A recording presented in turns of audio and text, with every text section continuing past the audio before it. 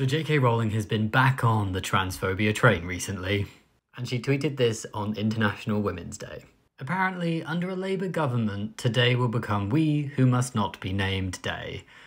A very Ben Shapiro-esque joke. The word woman is not being erased and women are not being erased. It's just important to make sure that all women are included. And yes, that includes trans women because trans women are women, something that JK Rowling really doesn't want to accept.